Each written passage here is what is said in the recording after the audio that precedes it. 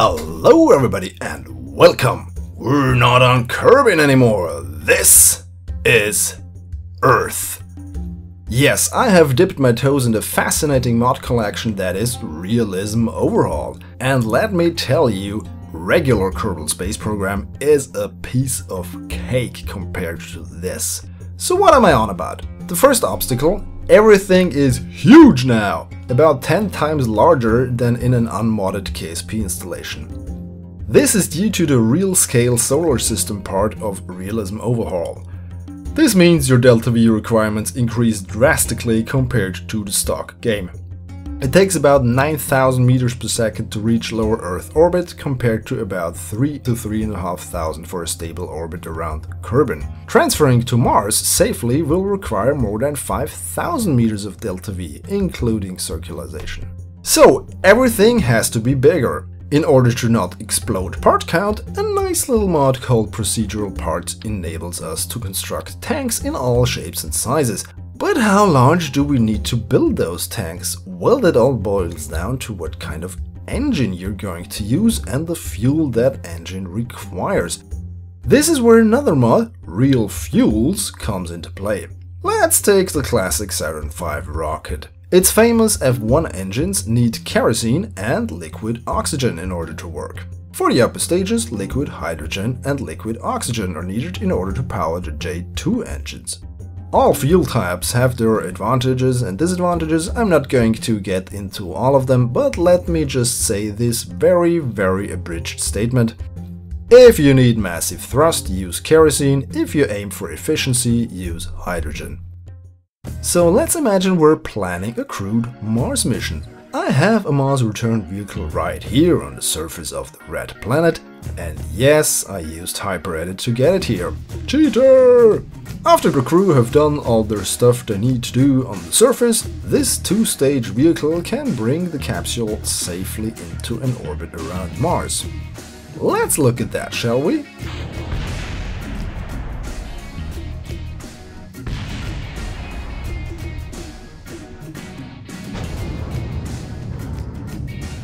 I'm going to skip through a few parts because orbital burns and Realism Overhaul are like the real thing, almost a little boring once you get past the ascent phase.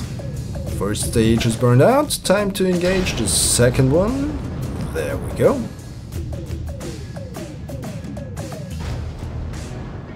Alright, here we are. We can ditch the stage and then attach to our main vehicle. That will transport us back to Earth.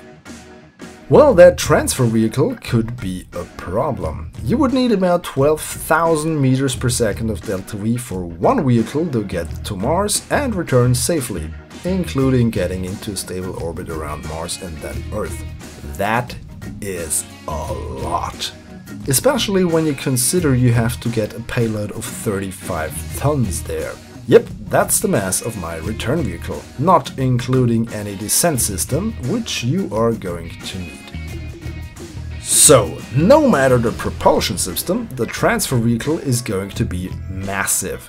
And since you know me, you will already know that I prefer launching stuff in one go instead of docking parts together in orbit. So here's a little montage of me trying to build a really massive lifter. The goal? Get 1000 tons of payload into lower Earth orbit.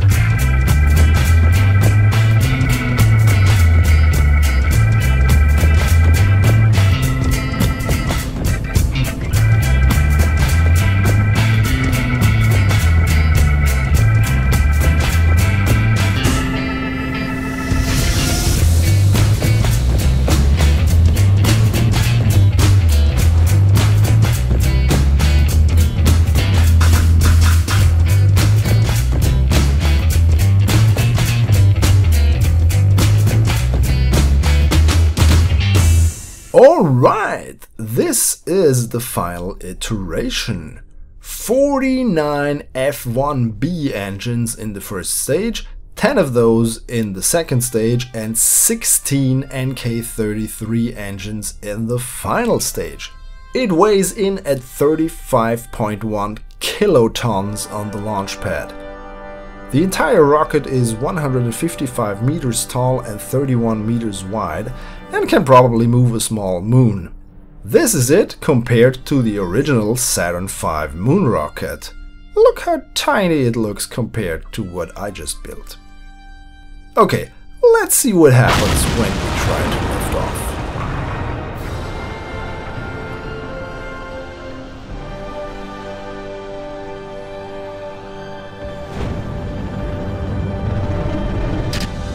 While we're ascending, let me tell you a bit about the engines. The F1B was a design proposed in 2013, taking the concept of the F1 and upgrading it with modern manufacturing techniques and new materials. This would result in a 15% increase in thrust, which was intended to clock in at 8 meganewton. It would also be easier to build than the original F1 and therefore be cheaper in production. Unfortunately, so far it has never seen light of day, but I do hope they will build and fly it one day. In order to even be able to engage the stage, I have some solid rocket motors. You have to consider something called ullage in Realism Overhaul, if the fuel isn't stable, and it is only stable when the rocket moves, then yeah, your fuel won't engage in the combustion chamber and it won't ignite, and it's really a mess. If you want to know more about that, there are really some very good videos out there explaining this better than I could do. This third stage uses the very efficient NK33, which, in contrast to the F1B, was an actual engine produced in the Soviet Union by the Kuznetsov Design Bureau. They were intended for the failed N1 rocket aimed to get cosmonauts on the moon. Due to their unique closed cycle design, they have incredibly high specific impulse and excellent thrust-to-weight ratio. The modern RD-180 engines powering the Atlas V launch vehicles are derived from the NK-33. So here we are. This looks promising. We have deployed our payload. Alright! so I can get 1000 tons into orbit around Earth. That's about 10 times at what the SLS is supposed to take in orbit, so take note NASA! But it's extremely hard and I have yet to figure out how to proceed with getting my 35 tons onto Mars.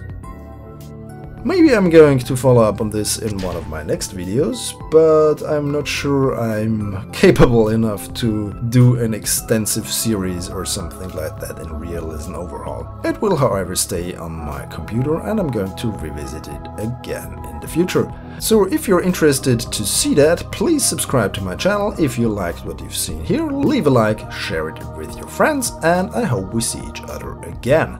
Thanks for watching, Goodbye.